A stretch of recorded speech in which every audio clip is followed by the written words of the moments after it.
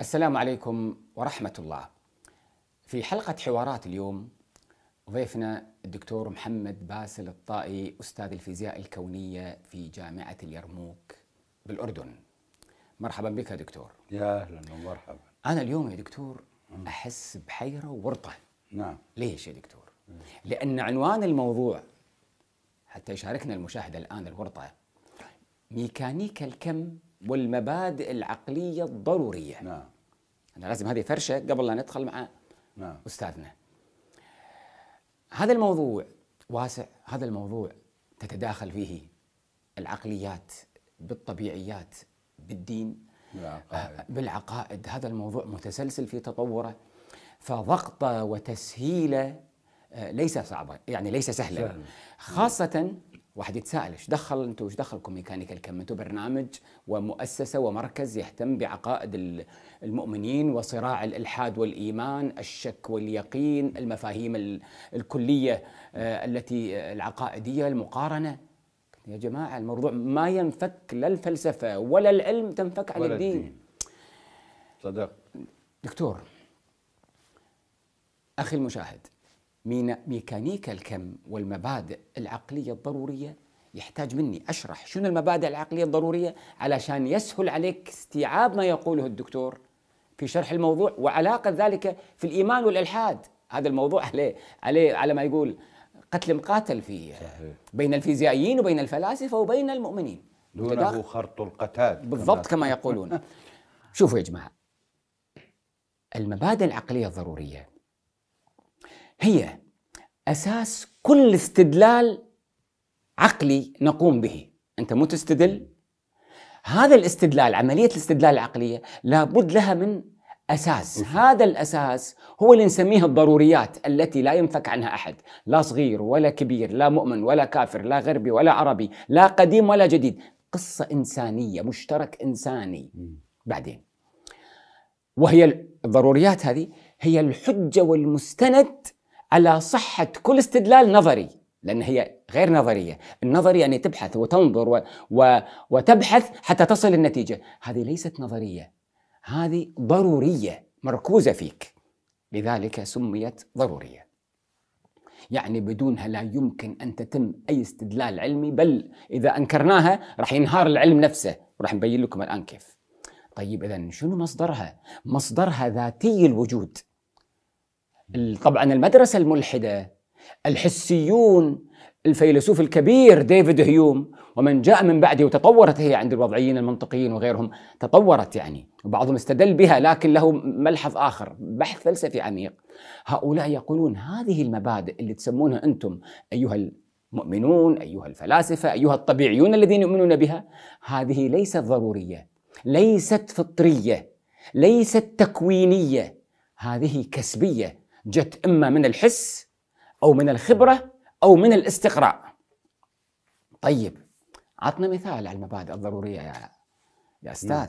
نعم. أشهر مثال مبدأ مبدأ السببيه عدل دكتور هذا أشهر مثال. صحيح. أو أشهر مبدأ مبدأ السببية. يقوم على أن لكل حادث حدث. محدث ولكل حدث سبب. سبب. لا يمكن. دائما مثل يضربونه؟ صح. لو طفل صغير وضرب كف على طول يبحث عن الضارب. لا يقول الكف نشأ من نفسه. لابد يبحث عن سبب. هذا واحد. اثنين مبدأ عدم التناقض.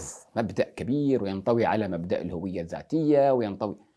يعني عدم التناقض يعني النقيضان لا يمكن أن يجتمعان وأن يرتفعان، يعني هذا حي أو ميت، لا يمكن أن يجتمع الحياة والموت في شخص واحد دكتور، نعم. ولا يمكن أن يجتمع لا حياة ولا موت في شخص واحد، لا يرتفع عن الحياة والموت ولا يجتمع فيه الحياة والموت، وبالمناسبة الشيوعيون يا دكتور؟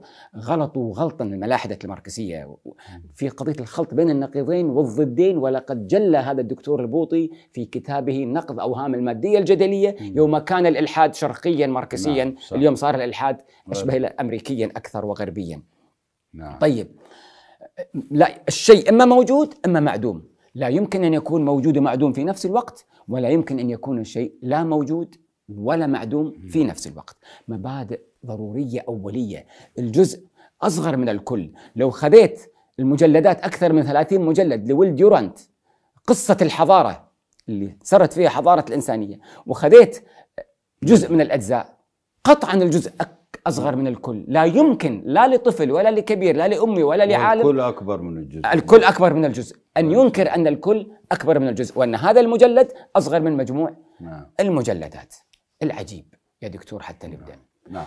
أن ميكانيكا الكم خلقت جوا من الحوار والتصادم وتناقض الأفكار لأن البعض زعم من الفيزيائيين وحتى بعض يعني الفلاسفة الماديين أنها تلغي المبادئ. المبادئ سواء يعني يعني أنت دكتور فيزيائي مثلا الفيزيائي الأمريكي الملحد وهو من الملاحدة الجدد فيكتور ستينجر.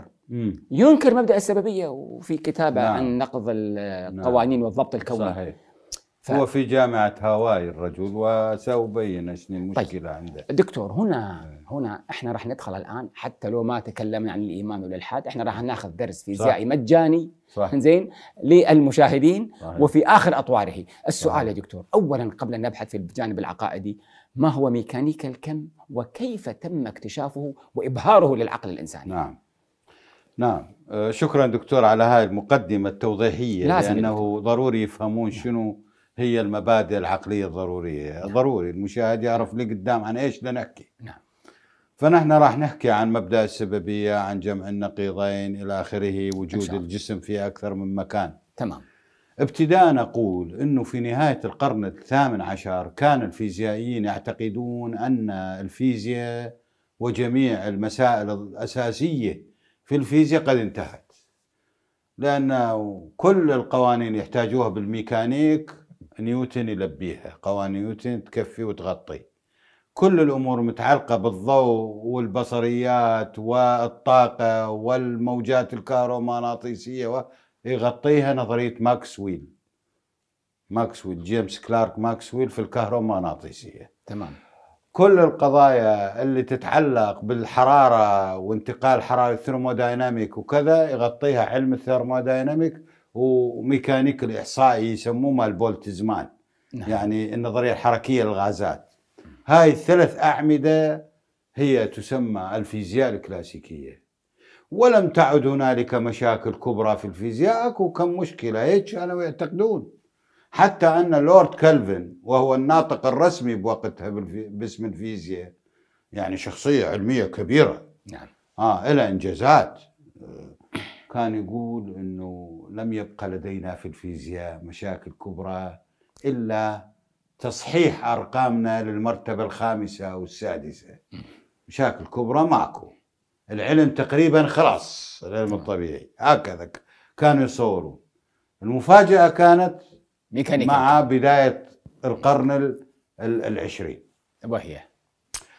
وهي الأولى مشكلة الإشعاع والمادة وتفاعل الإشعاع والمادة. كان عند- عندهم مشكلة بها. كانوا يعتبروها صغيرة بس تبين أنها كبيرة. إذ أنه تف- تصرف الإشعاع مع المادة يختلف عن عن ما تقره نظرية ماكسويل وأنتم قلتوا ماكسويل وقوانين الإشعاع أو قوانين الثرموديناميك تغطي وتكفي. أيوه. تبين أنه ما بالعكس تماما. هنالك ظواهر تنطيك نتائج بالمختبر بالتجريب نتائج تختلف عن ما تتوقعه النظرية. اذا النظرية أصبحت مشكوك في أمرها. اثنين أنت تحتاج أن تضع بديل لتفسير هذه الظاهرة الطبيعية. ظاهرة يسموها ظاهرة إشعاع الجسم الأسود اللي هي شلون الجسم الأسود يمتص الإشعاع وكيف يبعث الإشعاع. ثانيا ظاهرة التأثير الكهروضوئي اللي هي وجدوا إنه لما يسلطون إشعاع ضوء على سطح معادن تطلع إلكترونات. تصرف الإلكترونات الطالعه سرعتها يعني سرعتها طاقتها الحركية أيوة. تختلف تماما عن ما تقره النظريه الكهرومغناطيسيه. النظريه الكهرومغناطيسيه تقول لك كلما زادت شدة الإشعاع كلما زادت طاقة حركة الإلكترونات. مم. لا مو هيك التجربة بدها تقول لنا غير. وهكذا. أكو أربع خمس مشاكل ما قدروا يحلوها. فاجأتهم. جدا. هنا آه، الحقيقة اجى يعني يجب أن نميز شيء. إنه الفيزيائيين بالفيزياء الكلاسيكية عندهم المادة وهي جسيمات والطاقة وهي أمواج. هنا دكتور. مهمة. مادة منفصلة عن الأمواج. تمام. مادة وطاقة. المادة جسيمات. الجسيمات تتميز بصفتين. أنها متحيزة مثل هذا الجسيم القلم أو الكتاب أو الدفتر أي جسم- أي جسم. أو أي جسم. متحيزة يعني تشغل حيزا في الفراغ. ثانيا الصفة الثانية ثابتة لا تتغير. الموجة شنو ميزاتها؟ أولا أنها غير متحيزة يعني بالحقيقة ممتدة وليست محصورة الموجة. ثانيا متغيرة أبدا لا تستقر على حال. هاي الموجة.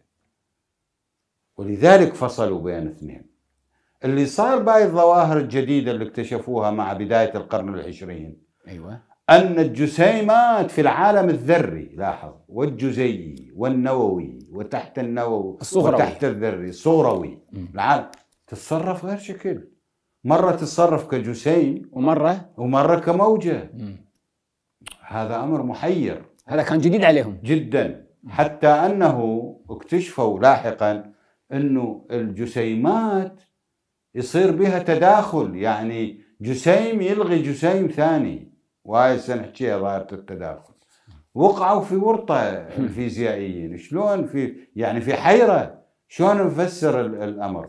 الربع الأول من القرن العشرين على فكرة إلى عام 1924 هم ما يعرفون كيف يفسرون هاي الظواهر اللي تجتمع فيها الصفة الموجية والصفة الجسيمية. يعني كان ماكس بلانك موجود أينشتاين موجود. نعم نعم. ماكس بلانك هو طلع قانون الإشعاع والمادة جديد غير القانون الموجود بالنظرية الكهرومغناطيسية. بس المشكلة إنه هذا القانون ده يقول لنا الإشعاع هو جسيمات كمات كبسولات من الطاقة. الأخرى أينشتاين من اجى فسر ظاهره التاثير الكهروضوئي كما ينبغي باستخدام طبعا آه، آه، قانون بلانك. وجد أنه الضوء أيضا جسيمات. لما اجى كومتن فسر الظاهرة إنه شعاع ضوئي يضرب ألكترون الألكترون يكتسب زخم أو يكتسب سرعة. معناته الفوتون نفسه له زخم. معناها الزخ الزخم صفة جسيمية. طيب الفوتون هو إشعاع. شنو القضية؟ لما اجوا سلطوا مجموعة من الإلكترونات على شقين. هاي يسموها تجربة الشق المزدوج. أيوه. اللي احتار بها ريتشارد فاينمان. فاينمان داخ بها هذه. حتى قال قولته المشهورة من يظن أنه فهم. قد فهم ميكانيك الكم فهو لم يفهم شيء. صحيح. قول مشهور هذا نعم. هل طيب هذا هو ليش؟ السبب السبب لأنه تجربة الشق المزدوج تقول لك أنه الفوتون الواحد أو الج... ال- مو الفوتون الإلكترون. المصيبة الإلكترون يعمل يعمل تداخل. أهداب تطلع تداخل. يعني معناته الإلكترون جاي قدامه شقين. دا ينشطر ويفوت من الشقين وبعدين ير- يرجع يلتحم. فات على أساس إنه جسيم. ولا موجة؟ على أساس إنه موجة. يعني هذا تصرف موجي. لأن أصلا الأمواج تتداخل لأنه هي لا تشغل حيز. فهي تتداخل. عشان كذا أما تشغل حيز ما تقدر تتداخل.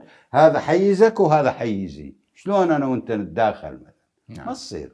طيب. فلذلك هنا الصرعة الكبرى صارت. لما اجى واحد فرنسي جاء نظرية قالوا عنها مجنونة. crazy idea اللي هو لويس دي بروي قال يا جماعة بال 24 إيه.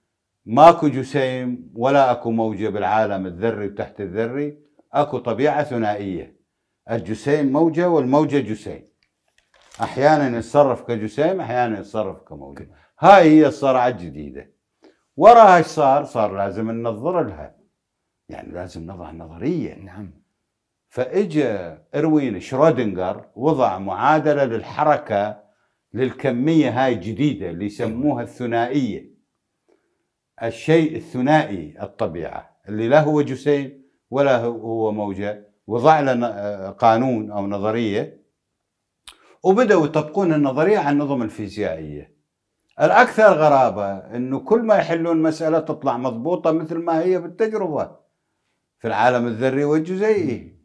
تأكدت الثقة بأن هذا التصرف الغريب العجيب مقبول ولازم نعيش مثل ما يقول وياه we have to live with it. واقعيا ون- ونظريا. نعم لأنه ال ال يعني كل شيء ده ينطيك نتيجة ده ينطيك نتيجة تطبيقية يعني.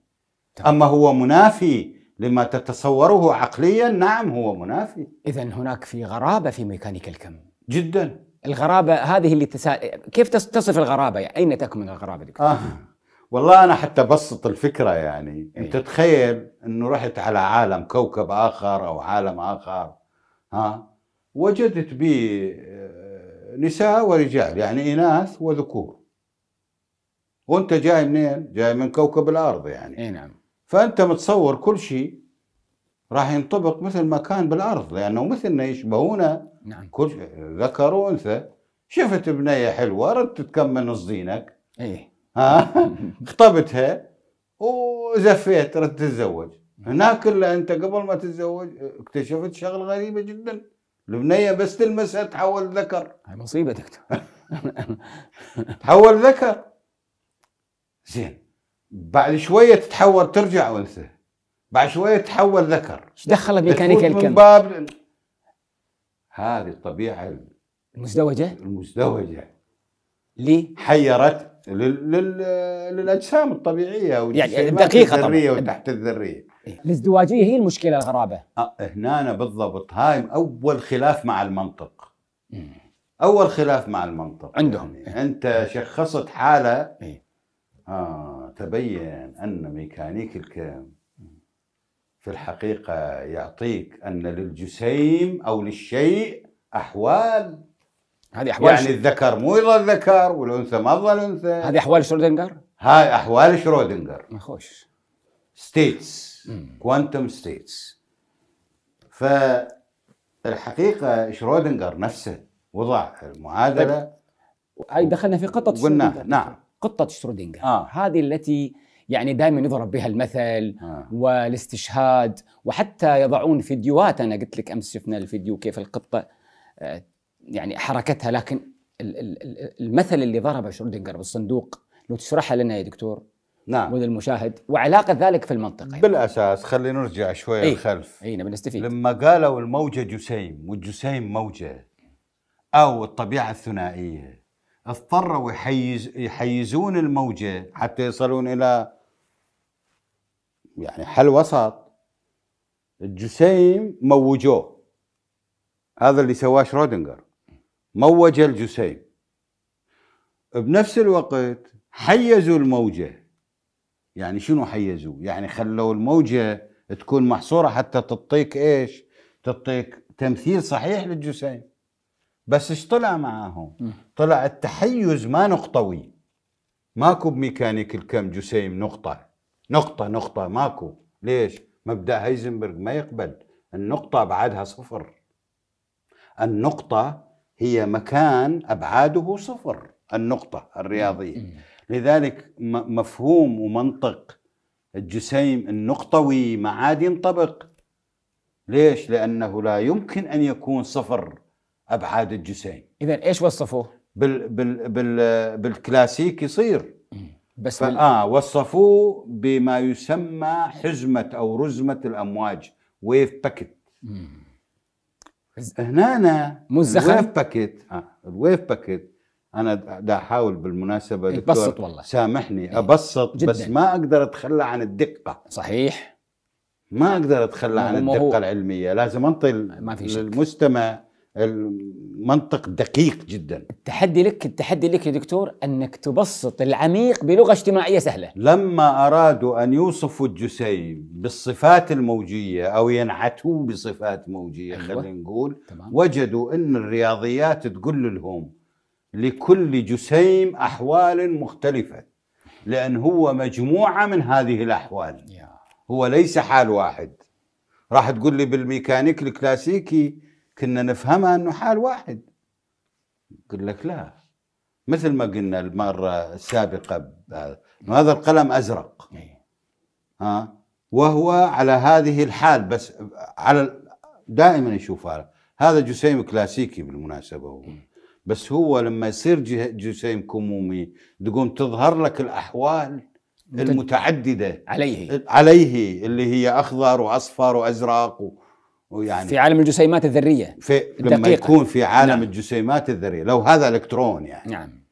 بالتالي هنا طلعت مشا... مشاكل. كيف مشاكل؟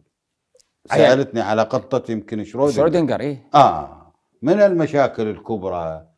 شرودنجر بالمناسبة. عالم فيزيائي كبير. عالم فيزيائي كبير وهو من أوائل اللي اشتغلوا بميكانيك الكم. اجى زيارة نيلز بور بال 26 ألف ورا ما وضع المعادلة مالته. ورا ما عرفوا إنه الجسيم هو مجموعة أحوال وليس حال واحدة. وأن هذه الأحوال لها احتماليات. يتمظهر أو تتمظهر بموجب الاحتماليات. وهذا ما يقدر يسويه ميكانيك الكم. هذا اللي يقدر عليه. يقول لك كم هي الأحوال؟ ممكن تكون حالين مثل الإلكترون. البرم مال الإلكترون أو الغزل. إيه ممكن يكون للأعلى ممكن يكون للأسفل. تمام. ممكن هيك دا يغزل وممكن يكون هيك دا بالعكس،. تمام. بس ها حالتين. بس أكو نظم فيزيائية بها مليون حالة يا. ألف حالة 500 حالة. هاي كلها موجودة. هذا أزرق بس هو بنفس الوقت به احتمال يصير أخضر. أسولف لك مرة عن نكتة كنت ببغداد دا أمشي بالسيارة. إيه, إيه حلو. صديق يعني مستضيفني. إيه. ها فبالليل الساعة 12 بالليل إشارة ضوئية. إيه. ضرب الإشارة الضوئية. قلت له أقول لك فلان إشارة ما كانت كل احد الاشاره حمراء؟ قال لا بيها خضار. على على ميكانيكا الكم تمشي؟ دا يمشي على ميكانيك ال quantum نعم. فهنا آه، شرودنجر بالمناسبة. من ضمن نتائج نظرية شرودنجر أن الإلكترون بالذرة يقفز من مستوى إلى آخر. هو لا يمر بين المستويين. انت- انتبه هنا. ذكرتني بطفرة النظام المعتزله طفرة هي طفرة النظام. عند المعتزلة. هي طفرة النظام. بالمناسبة حكى عنها ماكس ييمر صاحب كتاب The Philosophy of Quantum Mechanics. عجيب. هو قال أن إبراهيم النظام المتكلم إبراهيم النظام كان أول من قال بالطفرة. إي والله. موجودة هاي بصفحة 159 من كتاب The Philosophy of Quantum Mechanics. وهذا ألماني الرجل. فيلسوف وفيزيائي ألماني. وأين القطة مثلا؟ هسه أجيك على القطة بس صبرك علي. شرودنجر نفسه رفض. أكو هواية ناس ما تعرف شنو المشكلة حقيقية مال قطة شرودنجر. حقيقية. شرودنجر نفسه قال للبور وهايزنبرغ ورا خمسة أيام من النقاش والحوار يريدون يقنعوه أن الطفرة الكمومية حقيقة. يعني انتقال الجسم من النقطة أليف إلى النقطة باء. دون المرور بالما كان بينهما صحيح. محير. يقول آخر يوم شرود هاي مكتوبة أيضا كتاب ال- يمر يقول وقف وقال إذا كانت هذه المصيبة مال انتقال الجسم من ألف إلى باء دون المرور بالمسافة بينهما صحيحة أيوه. وراح تثبت صحيحة إيه. والله أنا راح أندم إنه اسمي ارتبط بميكانيك الكم بينما هو أضخم واحد وأهم واحد بتاريخ ميكانيك الكم لأن وضع معادلة شرودنجر. المعادله مالته. عالم. تحل, كل المسائل مال يا ال quantum سلام. يا سلام. يقول سأندم. I will regret it that my name has been associated with this science. زعل. ما يقبل ليش؟ يعني منطق. منطق عقلي. إيه. عليها حتى يزدري من ميكانيك الكم. سوى سوى قطة شرودنجر. هذا اللي نقول انه وضعها للازدراء وليس لل بالضبط. هو نعم. هو cynical هو اللي نعم. يعني دي دي يسخر اي منه نعم قال إذا جبنا قطة خليناه بصندوق أيوه. لأن ميكانيك الكم احتمالي. لا. صحيح إيه. خليناه بصندوق وخلينا يمها آه، قنينة بها غاز سام. قاتل. ما بي يعني قاتل أكيد. وفوق القنينة خلينا شاكوش. والشاكوش ربطناه بآلية كهربائية وخلينا هالآلية الكهربائية تعمل تريجر تحركه للشاكوش يطق. إذا انطلقت آه، كمية من الإشعاع. ليش هاللفة هذه؟ لأنه الإشعاع الجسيمات الإشعاعية من تنطلق جسيمات إشعاع نووي احتمالي جوازي. ما حد يقدر يقول لك يمتى راح تنطلق الإشعاع. يقدر يقول لك خلال ساعة راح تنطلق مثلا خمس جسيمات أو عشرة خلال ساعة. يمتى بالضبط. تنطلق بالضبط. ما حد يقدر يقول لك يمتى بالضبط. ابدا. وفي قطة داخل الصندوق. القطة اي المسكينة حاطها هذا ومغطي الصندوق خلال خلينا نقول خلال نصف ساعة. أكو احتمال أكيد تنطلق جسيمة من جسيمات النووية تشغل الآلية الكهربائية ال- ال- الشاكوش يوقع على الزجاجه يكسرها يطلع الغاز السام تموت. هذا إذا إذا انطلق. إيه. إذا ما انطلق شلون؟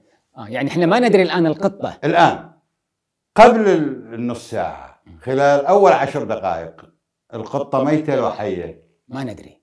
ما ندري. يمتى ندري؟ لما نفتح الصندوق. اذا هي أثناء الصندوق؟ أثناء الصندوق مغلق, مغلق ما نعرف. آه بس هو يقول حية وميتة في نفس الوقت. بالضبط. نظريا بما أنه القطة لها حالين إما حية مثل ما وإما- قلت. بالضبط. أو ميتة. اي نظريا حالها التي توصف بها بساي أو دالة الموجة أو حالها الأول مضروب في نسبة أن ت- أن ينطلق الإشعاع، افرض نسبة أن ينطلق الإشعاع 36% إيش قد بقى من ال 100%؟ 64 64. تمام؟ فاذا إذا انطلق الإشعاع راح تموت اذا هي حالها لو أوصفها عن نظرية على نظرية الكوانتم يطلع 36% حية زائدا 64% ميتة شلون يصير؟ شلون يصير؟ يعني واحد تقول 64% ميت و36% حي آه، وهي في حالة مستورة يعني ما دا أشوفها. قال لك إيه؟ لما تجي تفتح الصندوق راح تعرف. بمعنى كأنه واحد دا يقول لي القمر ما موجود إلى أن أشوفه. لكن هنا دكتور هنا دكتور. وهذا دخلنا بمصيبه أكبر اي وهي دور المشاهد في المشهود. اي هذا اللي في الفيزياء الحديثه دور إيه في, في ان ان. أن الراصد آه. مشارك في التجربه مشارك بالضبط وليس م- وليس مستقل حيادي. مزبوط دكتور لكن هذا ما هذا لا يتفق مع المنطق الرصين في نفي النقيض آه، في اجتماع النقيضين. آه. أنها نعم. حية وميتة. دكتور يعني الآن دخلنا في موضوع الضرورات العقلية. هل القطة في الصندوق عندما قال حية وميتة وهو يسخر طبعا هل القطة هنا فعلا نقضت قطة شرودنجر قانون الضروري اجتماع النقيضين فاجتمع النقيضان كانت حية وميتة في الصندوق في نفس اللحظة في نعم. نفس الزمان؟ من الناحية النظرية وهنا دا أريد أوضح بالذات لأن هذه يمكن تلاقي خمسين فيديو بالعربي على قطة شرودنجر أكثر. باليوتيوب مم. على الأقل. اي وبالكتب اسأل يعني الله أعلم ال- لكن هناك خطأ في الفهم. هي شنو قطة شرودنجر المشكلة الض- الأساسية ماذا يريد أن يقول انه شرودنجر؟ إنه لا إنه في النظرية يجتمع النقيضين، لا أنا خليني على إيه. على الضرورة العقلية. اي في النظرية ده يجتمع النقيضين في النظرية في الواقع لا هو يعرف أنه في الواقع هي لما ده تيجي تكشف عنها يا إما حية يا إما ميتة. هنا شلون نفسر التباين ما بين النظرية أيوه والواقع؟ نعم. والواقع كيف أميز ما بين هاي المشكلتين؟ ما هو النظرية هي نفسها تفسر الواقع. النظرية ومعادله شرودنجر ده تحل مسائل وده تنطيني أرقام تطلع صح مضبوط. طيب كيف ما أصدق إنه إذا اجتماع النقيضين ممكن؟ هاي هنا ال- العلة إنه إنه النقيضين بالنظرية موجودة يجتمع النقيضان بالعمل لا ما موجودة. شلون نراوس بيناتهم؟ شلون؟ هاي. هاي بعدين راح أقول لك شلون. اي لأن إحنا عندنا تعليق عليها. لا- نعم تع- بعدين. هاي مشكلة. طيب هذه إشكالية واحدة. نعم. طيب. هذا إشكال الثاني موضوع السببية. مهم أهم موضوع النقيضين والسببية. نعم. هل هم يقولون هل نظرية الكم تلغي قانون السببية؟ نعم. الفكرة منين إجت أيضا؟ يقول لك بما أنه بما أنه آه، ميكانيك الكم ينطيك الأحوال ولكل حال الاحتمال مالته. بس ما يقول لك يمتى يصير الاحتمال. يعني النار تحرق القطنة. نعم. النار سبب لاحتراق القطن. صحيح. تقول للميكانيك الكم بالدقة بالدقة. كل مرة النار تحرق القطن؟ يقول لك لا. يصير أح- ليش؟ لأنه ما حد يدري أن هناك احتمال احتمال آه أن القطن لا يحترق. ضئيل. حتى لو ذبيته بالنار الحارقة. ضئيل بالنسبة مليارية دكتور. بالنسبة مليارية إيه. بس مع ذلك من الناحية الفلسفية يعني معناته النار مو دائما معناته في إمكان. القطن. بإمكان في إمكان. إذا دخلت في الإمكان خلاص. آه وليس الحتيم. مم. الن- النظرية الحتمية والحتمية الكلاسيكية سقطت. بالكوانتم. هذا معناته إنه الحتم السببي سقط. اذا ما في نفي سببية. أيوه في هم نفي- شو يقولون؟ نفي السببية. لا مو نفي السببية. العلاقة لاحظ السببية ما هي؟ هي جزئين. إيه. دكتور إيه. هي علاقات سببية إيه. وحتم سببي. نعم. تمام. العلاقات السببية لا زالت قائمة في ال quantum mechanics. تمام. يعني إذا ما وجدت نار ووجد وما وجد قطن ماكو أحوال. أحوال إيش؟ شنو الأحوال؟ صحيح. مرتبطة بواقع. الأحوال هي للقطن أنه قطن يحترق أم لا يحترق. صحيح. والنار تحرق أم لا تحرق. النار تحرق أم لا تحرق. إذا ما وجدت هاي الثنتين ماكو بالأصل مسألة. انتفت المسألة. إيه. فالعلاقات السببية قائمة. في من ال quantum mechanics لكن الحتم السببي ساقط. هذا وين يودينا؟ يودينا على آه، فكر أبو حامد الغزالي والمتكلمين عموما. أن الحتم السببي ساقط ما بالضرورة. ما ضروره وهو دليل من الأدلة اللي يقيموها على وجود الله. صحيح. لأنه الله سبحانه وتعالى في الفكر الإسلامي هو القيوم سستينر بمعنى أن القانون الطبيعي القانون الطبيعي اللي هو النار تحرق القطن هذا قانون طبيعي بدون تفسير.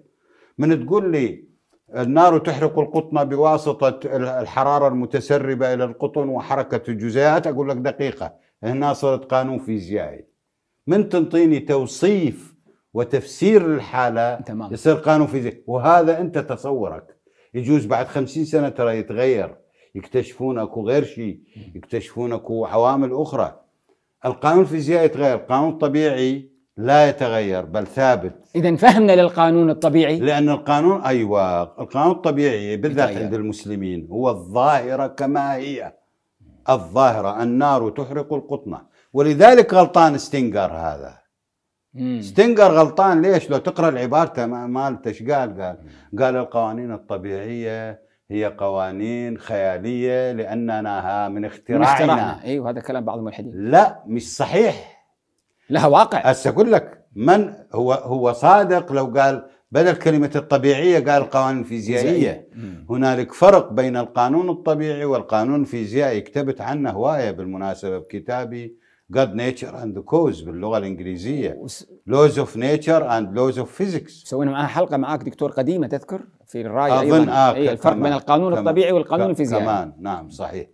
فالقانون الطبيعي هو الظاهرة بما هي. الكونية أو الجزئية. بما هي أي شيء. القانون الفيزيائي هو ما نخترعه نحن لتفسير الظاهرة. معادلاتنا الرياضيه أوصافنا دكتور؟ بالتراث العربي والإسلامي التمييز هذا موجود. بالتراث اليوناني ما موجود لأنه كلمة physic تعني طبيعة. physic تعني طبيعة. ولذلك يخلطون ومنهم كبار فلاسفة أو علماء مثل بول ديفيس أو ستيفن هاوكينج أو هالعلماء الكبار يخلطون لحد الآن ما بين القانون الفيزيائي والقانون الطبيعي وهو أحد المشكلات الكبرى في موضوع الإلحاد بالمناسبة. نعم. طيب هل يمكن أن يجتمع النقيضان؟ قلنا لا يا دكتور. لا يجتمع وقطة من شرينجر الناحية العملية لا يجتمع بل حتى نحن عندنا في الضرورة العقلية المجردة نعم. لا نستطيع أن نقول نعم. أنهم يجتمعان. راح تقول لي بالنظرية شلون نحلها؟ هاي بعدين أجاوب. طيب. هل يمكن أن يوجد آه، دكتور مشكلة أن الجسيم يوجد في آن واحد في مكانين؟ هذا منين اجى؟ أنا أريد أبين أصله، أصل الفكرة. بما أنه أصبح للجسيم أحوال مختلفة فهو ممكن أن ولكل ولكل حال هيك هي الفكرة ولكل حال احتمالية فمثلا هذا القلم ممكن أن يوجد هنا باحتمالية 99.16 ولكن ممكن أن يكون القلم أيضا في آه، الصين باحتمالية صفر فاصلة عشر اصفار واحد.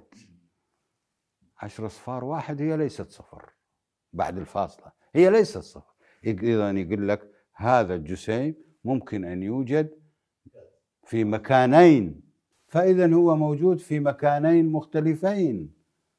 بمقدار لكن هنا باحتمالية عالية وهنا. فالناس فهموها كأنه القلم هو في آن واحد موجود. هذا أيضا مش صحيح. هذا يقولونه. هذا ما تقره النظرية من أن حال الجسم في في الموقع إكس الكويت وحالة في الصين معرف على أساس بحالتين حالتين. والحالتين ممكنات. هكذا فهموها. فكأنه هو موجود في آن واحد في المكانين وهي ليست كذلك. استدلوا عليها هو شنو تدوخ آه، أستاذنا الكبير أستاذ أساتذتنا ريتشارد فاينمان. ريتشارد فاينمان في كتابه الجزء الثالث من quantum mechanic يقول هاي مشكلة الشق المزدوج حيرتني دمرتني. لأن إيه دمرته فعلا يعني فكريا. ولهذا اطلق هاي العبارة العجيبة اللي تقول لك كل من يقول لك أنا افتهمت ميكانيك الكم ما مفتهم شيء لأن هو ما مفتهم شيء بصراحة.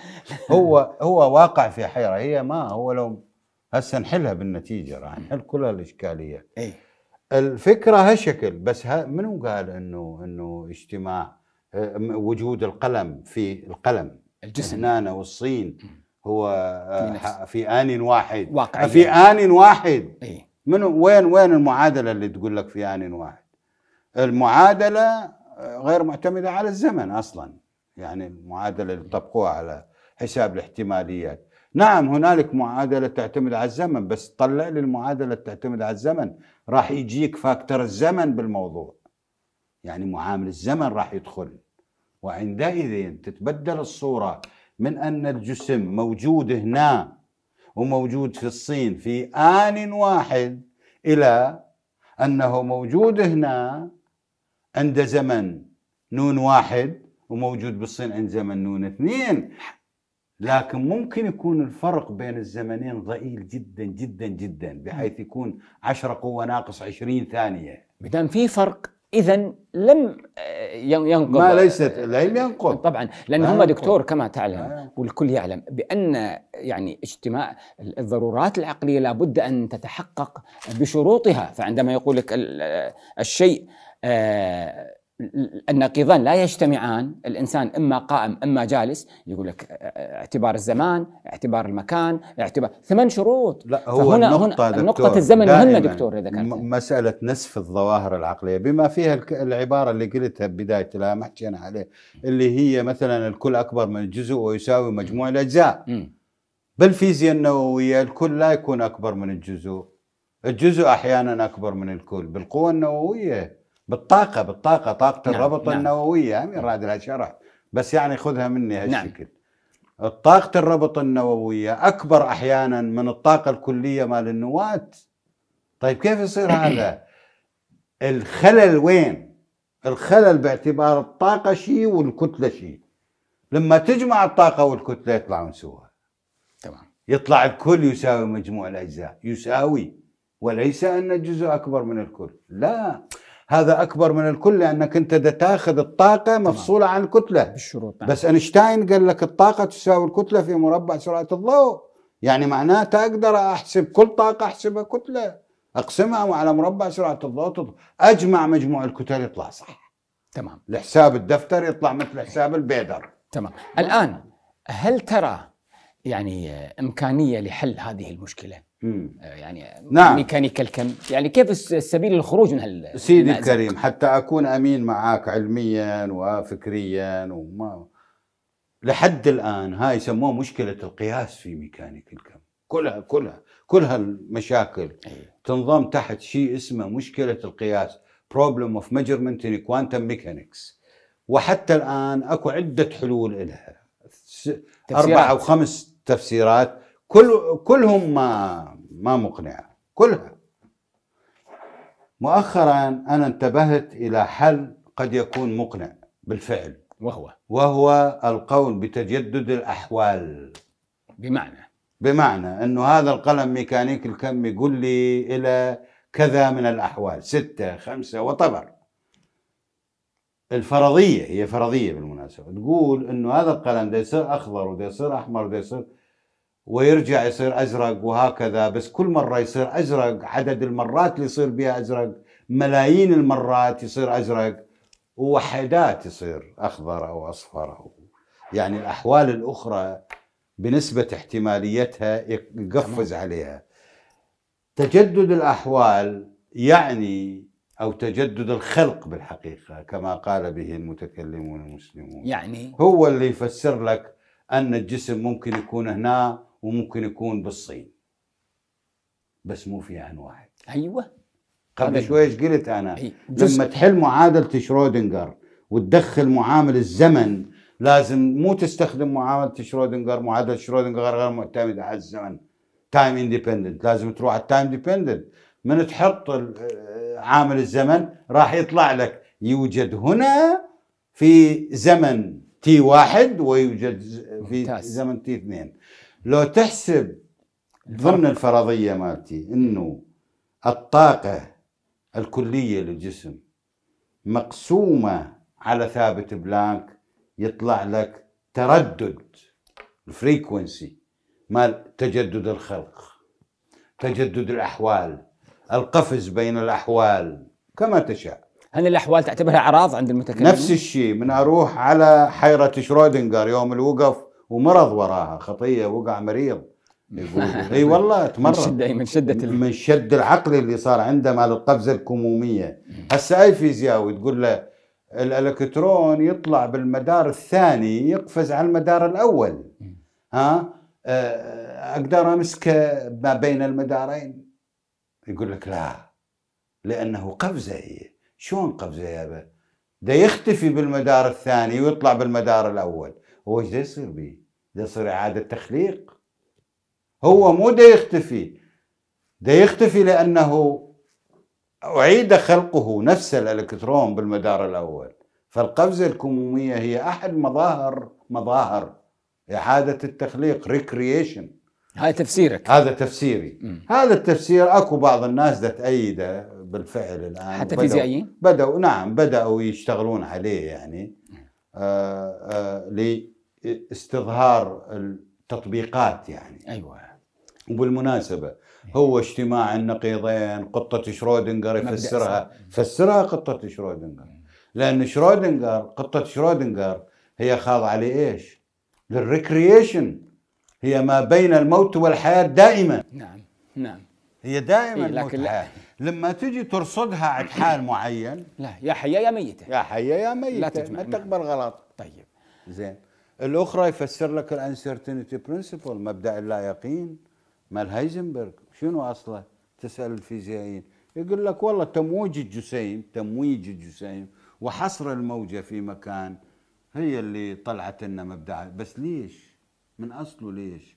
لأنه أكو re-creation لما تيجي تطبق رياضيا تجدد الخلق تطلع مبدأ عدم التحديد عندك بالصيغة العامة حتى مبدأ عدم تحقيق عد- يطلع صح وعقد الناس هو أيضا مبدأ عدم أيضا التحديد. عقد الناس صحيح لو تشرح مبدأ عدم التحديد حتى صح. هو مبدأ عدم التحديد يعني يقول لك إنه لا يمكن أن تجد الجسيم في مكان واحد آه، وزمان واحد وزخم واحد في آن واحد لا يمكن تحديدها بشكل مطلق. يعني مهما كانت عندك قدرة تكنولوجية يعني هم يقولون إذا رصدت المكان فقدت فقدت السرعة. وإذا رصدت السرعه أو الزخم. وإذا رصدت السرعة بدقة أي. لا متناهية تفقد المكان. يصبح المكان كله في الكون كله. يعني نقدر نقول نعم لأنه ده يصير تجدد بالخلق. طيب دكتور. تجدد الخلق يفضي إلى هاي النتيجة. آه، دكتور محمد باسل الطائي حقيقة إحنا كنا في درس جميل. ومفيد. ويعني مثري للمتلقي. ونحن نحتاج في دائرة الثقافة المعاصرة أن يهتم الجيل المتلقي بل حتى الجيل الذي يستدبر الحياة إلى هذا ال- ال- العلم الوازن من المتخصصين. وفي هذا الموضوع نقول يا جماعة الضرورات العقلية قطعية فطرية شاملة كلية أما النظريات العلمية حتى لو كانت حقائق ففي حقائق موضوعية الآن وفي حقائق مطلقة. الغالب عليها حقائق موضوعية والحقائق المطلقة والحقائق الموضوعية تفهم في دائرة الضرورات العقلية القطعية. ومثل ما تفضل دكتور تكون الظاهرة الواحدة لها أكثر من تفسير وتفسيرين وثلاث حتى بعضهم قال في عشر تفاسير لظاهرة واحدة. وبالتالي نعم، لا صحيح. إيه وبالتالي لا يمكن للضرورات يعني العلم الطبيعي أو الظواهر الطبيعية أن تنقض. مبدأ السببية أو مبدأ اليقين. دكتور. لا أنا أرى الضرورات العقلية قائمة نعم. بس شنو نظرية الكم ما قدرت تفسرها لنقص معلوماتنا؟ بالضبط. ولذلك ما نجعل من نقص يعني معلوماتنا. أيوة. حكم على ما حكم هو على- يقيني وقطعي في الضرورات العقلية. دكتور محمد باسل الطائي شكرا جزيلا لك. أشكرك. يا هلا ومرحبا.